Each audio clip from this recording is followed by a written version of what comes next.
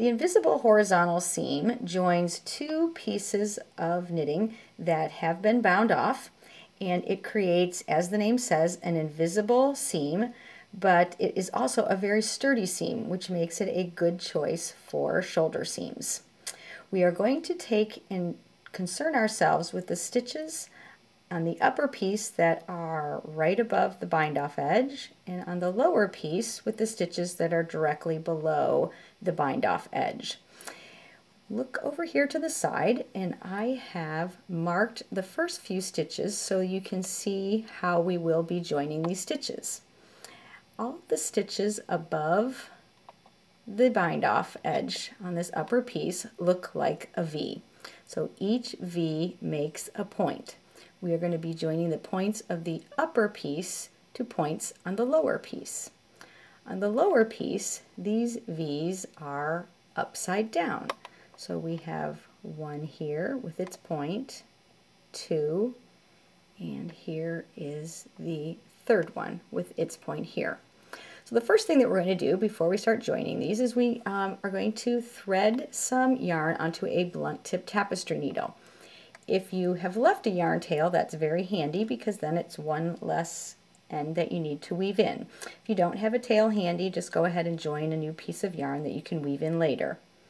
So I come and I take my yarn and I bring it into the lower piece here, just grabbing that first half stitch there.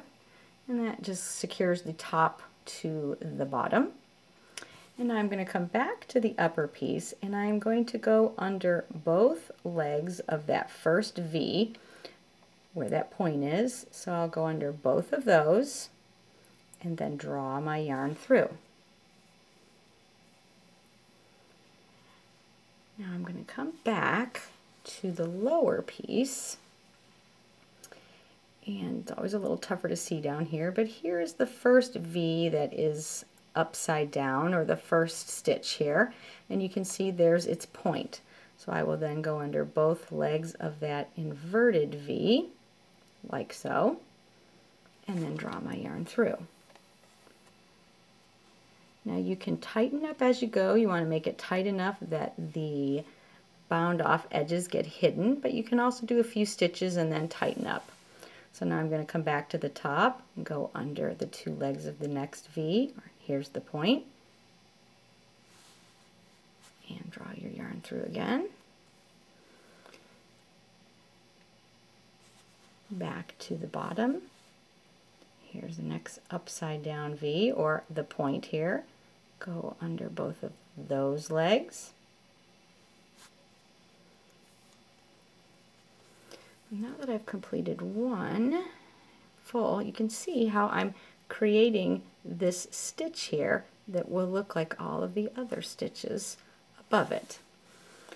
So come back up to the top, go under the next V, both legs, which makes that point right here. Go under that. And I'll come to the bottom.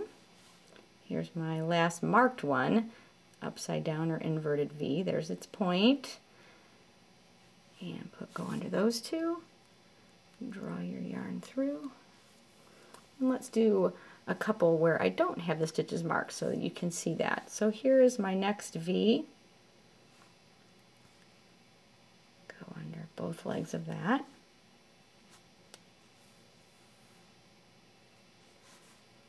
And below here's the next V.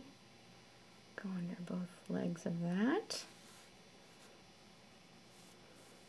And you can see that we are creating a very nice and seamless invisible join.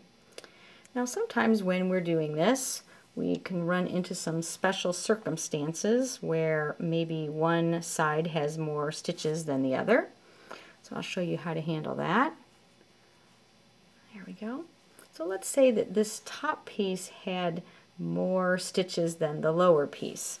So you may need to ease in that fullness by instead of taking two legs or the entire V here, maybe you might need to do one and a half stitches. And do that every once in a while just to sort of ease in that fullness. And that small interruption in the pattern won't really make that much of a difference. You won't really be able to detect it, especially when the patterns on the top and the bottom may be different. This happens if you have cables here or ribs, something to that effect. So there you have it, the invisible horizontal seam. Happy knitting!